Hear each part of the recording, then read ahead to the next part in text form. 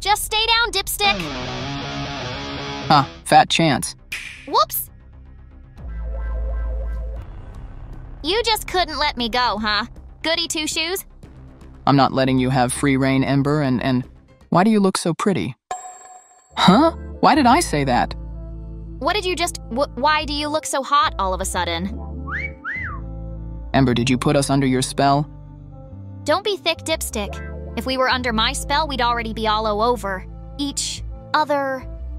Um, Um. Oh, Oh, wow. This doesn't mean anything, dipstick.